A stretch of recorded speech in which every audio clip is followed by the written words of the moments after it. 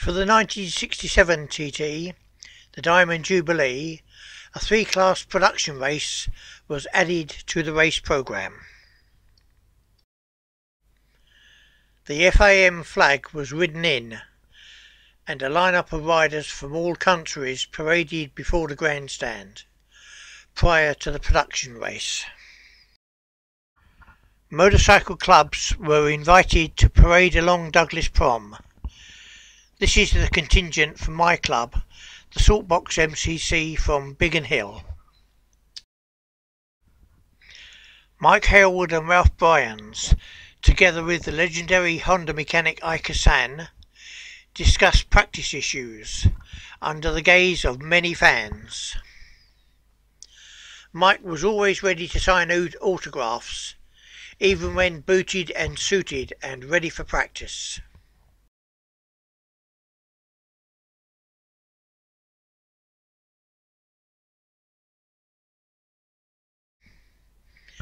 The production races had a Le Mans start. This is the 750 class. Griff Jenkins is number 3, with Prod Racing regulars Peter Butler 17 and Ray Knight 19 already away. Number 10 is Steve Spencer, with Dutchman Jan Strijbis, number 15. Ray Knight led into Quarterbridge but John Hartle was already on his shoulder and pulled away for a comfortable win on his Thruxton Bonneville from Paul Smart on the Dunstall Dominator and Tony Smith on his BSA Spitfire. Bob Heath, later known as the Classic Manx Ace, rode this Spitfire in his TT debut. John Hartle and his sponsor Jeff Duke in the winner's enclosure. Later he receives his winner's trophy with the ACU secretary Mary Driver in attendance.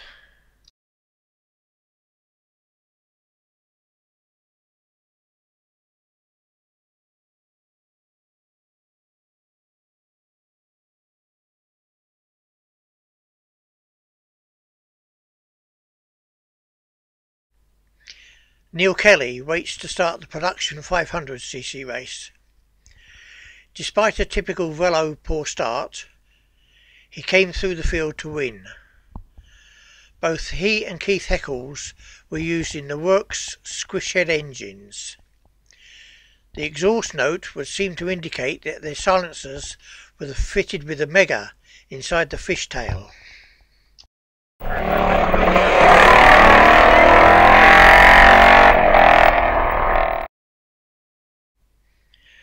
Dave Nixon brought the Boyer of Bromley Tiger 100 into third place. Sidecar specialist Norman Hanks finished fifth on his A50 in his only solo TT. Percy Tait was the race favourite on his Triumph, but he crashed out at Appledene on the first lap. Tony Dunnell was seventh on his CB77 but he was a front runner in this class two years later on the Kawasaki. Local hero Neil Kelly with his entrant Reg Orpin of L. Stevens of Shepherd's Bush. He receives his winner's trophy from the Mayor of Douglas, James Collister. Neil was only the second Manx TT winner after Tom Sheard, who won the 1923 Senior TT on a Douglas.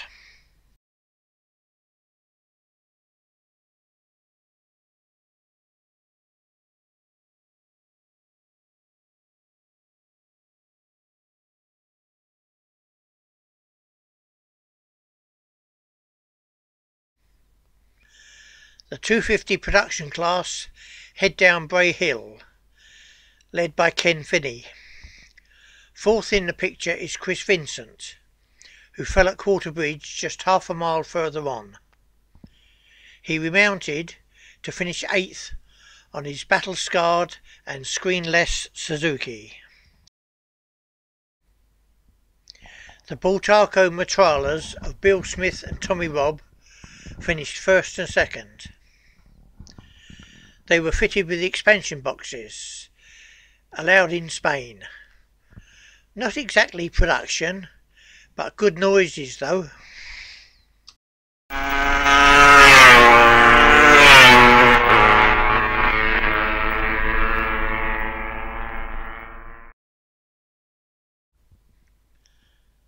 Batley's Peter Paget rode this YDS Yamaha to 13th place, whilst Frank Whiteway finished fourth on his Crooks Suzuki. Dave Simmons on the twin-cylinder Kawasaki Samurai. He finished in seventh place. The winners of the three production classes wait to be garlanded left to right, Neil Kelly, John Hartle and Bill Smith.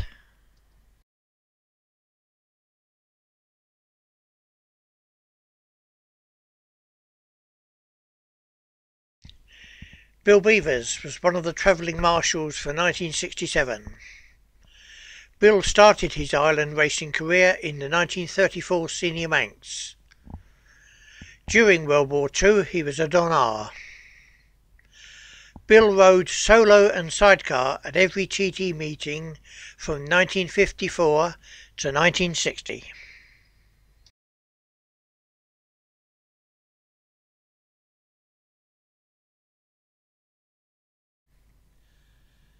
Siegfried Schauzu took the first of his nine TT victories in 67, ahead of German compatriot Klaus Enders.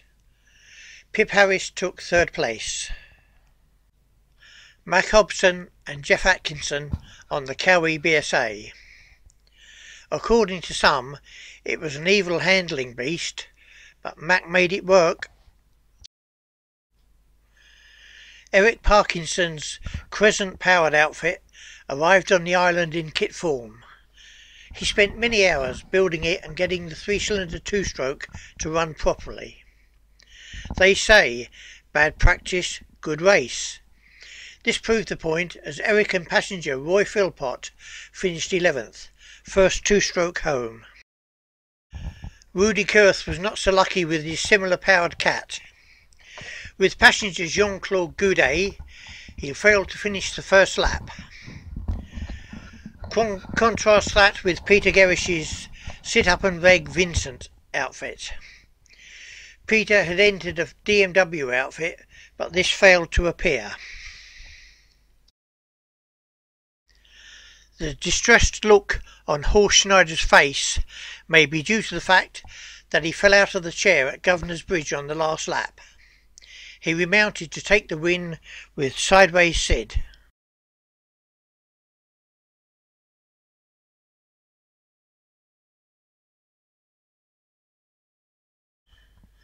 Between race days, what better than a run on the steam train?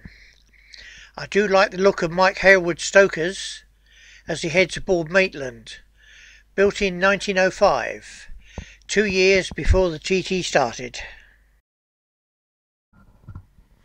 The 12th annual Vintage Club Rally included a lap of the original St John's course.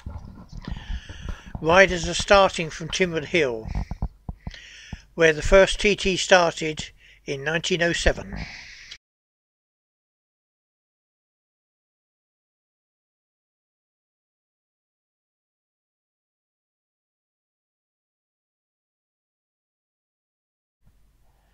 Mike Hailwood took his first victory of the week in the lightweight class, ahead of Yamaha's Phil Read, with Honda teammate Ralph Bryan third.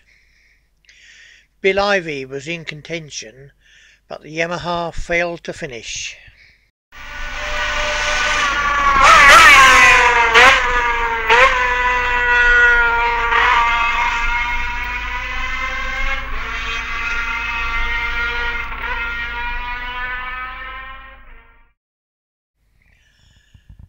John Kidson rode this venerable Guzzi to a 20th place finish. But Peter Inchley, who finished third the previous year, was out of luck with the Star Maker powered AJS. The first to congratulate Mike in the winner's enclosure was pre-war TT star Stanley Woods. Mike had just equalled Stanley's haul of 10 TT wins. More was to follow.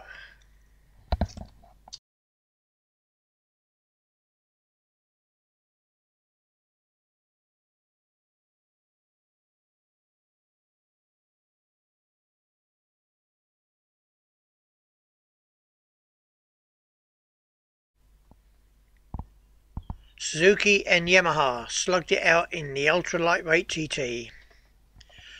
Phil Read won on the Yamaha, and Stuart Graham was second on the Suzuki, 14 years after his father had won the same race. Akiyasu Motohashi finished third on his TT debut. Bill Ivy was again out of luck in this race but he was destined to win the 1967 Ultra Lightweight World Championship. Kel Carruthers on a sweet sounding Honda finished fifth. The Bantam boys were still out there flying the British flag. Bob Newby at Signpost Corner. Little Gary Dickinson was the only rider having to carry a lead ballast he and his Honda were under the minimum race weight.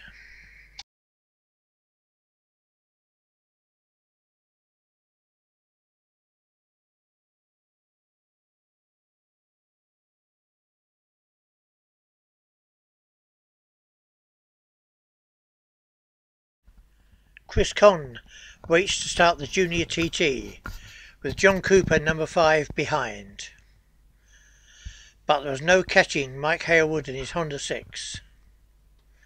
Giacomo Agostini gave chase, but still ended up over three minutes behind. Derek Woodman gave the East German MZ a third place. Fred Stevens pulled in and retired at Parliament Square on his Hannah Paton.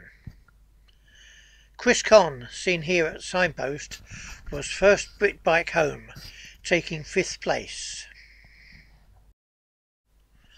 Amongst the exotic machinery, Ray Knight was riding Hughes Motorcycles 3TA base Triumph to a bronze replica finish.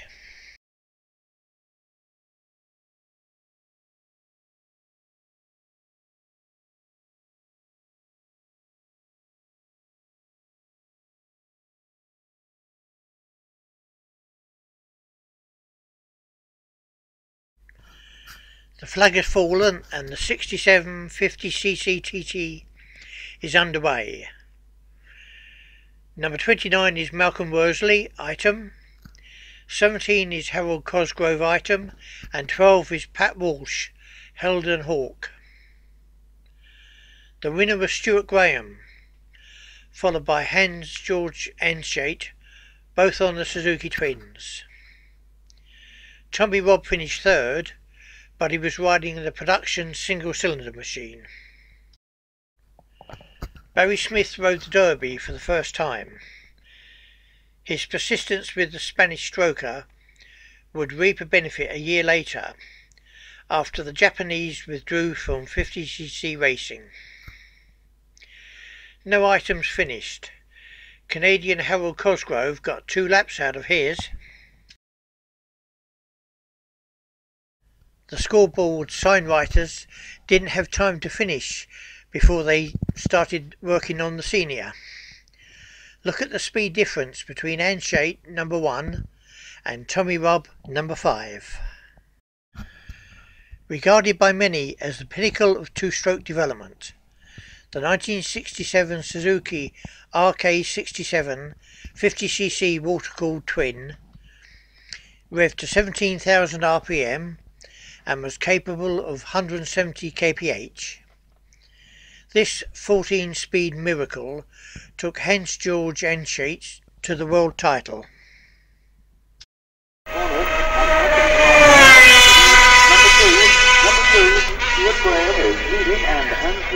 number one is coming down to the line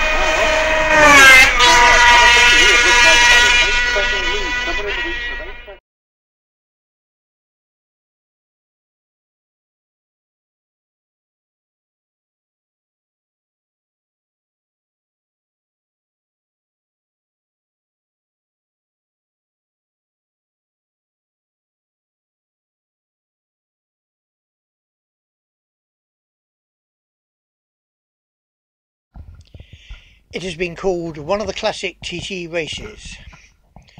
Wood Ago on the nimble MV3 beat Mike Hailwood on the brute of a Honda 4.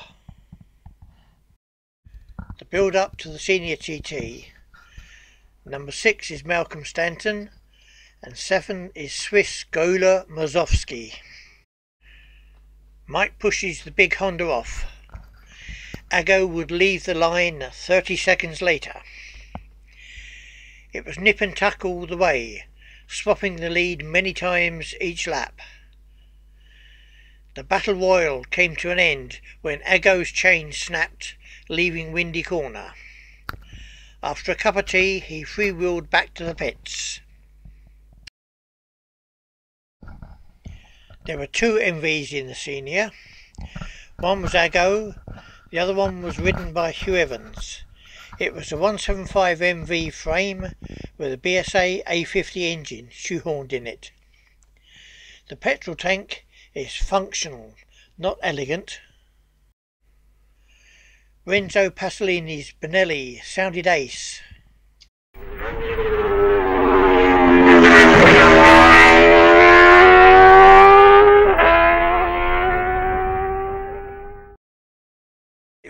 Failed to finish the race. Melvin Rice took over the Slater Vincent after Ray McKay crocked himself in practice. He got it to the finish. Fred Stevens, Hannah Paton took him to fifth place. The machine forms the basis of the 500 that has taken the classic scene by storm. Peter Williams on Bray Hill he would never have dreamed he would be runner-up on his Matchless. Peter's father, Jack Williams, was, for many years, development engineer for the 7R and G50 machines. Third place went to Steve Spencer, another TT debutant, but with a proven track record from the Manx. Peter Williams is congratulated by Mike at the finish. Stan Hailwood stands between them. Albert Moule receives his bronze replica, which marked his retirement from island racing. Albert started in Senior Manx in 1936. After finishing racing, he was enrolled as a travelling marshal for many years. Many a newcomer has learnt a lot from tagging onto Albert on travelling marshal duty. I can confidently predict that Albert never had as much horsepower in his racing career than he had with the 1978 Honda CBX.